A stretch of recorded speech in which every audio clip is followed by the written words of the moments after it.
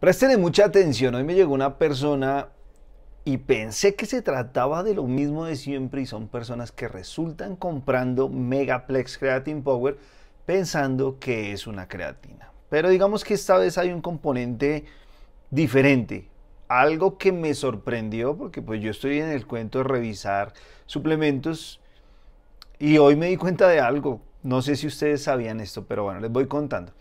La persona compró Megaplex la persona no, necesita un ganador. Yo ya revisé sus datos y no necesita un ganador.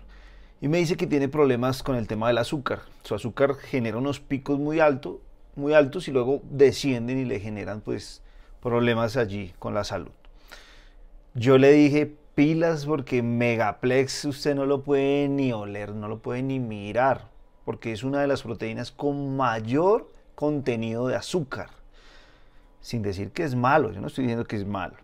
Le dije, pero usted no puede ver ese suplemento. Y él me manda una tabla y en esta tabla aparece cero azúcares añadidos y en el total del servicio aparecen como 5 gramos. Y yo, ¿what?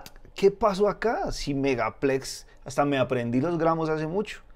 83 gramos de azúcar para todo el servicio. Y parece que ahora tiene menos de 5 gramos la porción. Yo no sabía esto. No encuentro la publicidad de cuando se hizo este ajuste. Estaba revisando la página de Megaplex, pues no logro ver, digamos, que en su publicidad diga que ya no contiene azúcar.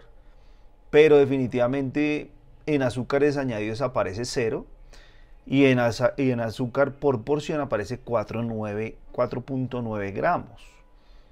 Oh, sorpresa. Oh, sorpresa. A la persona no le sirve un ganador. Pero Megaplex ya no tiene tanto azúcar. ¿Cómo la ven?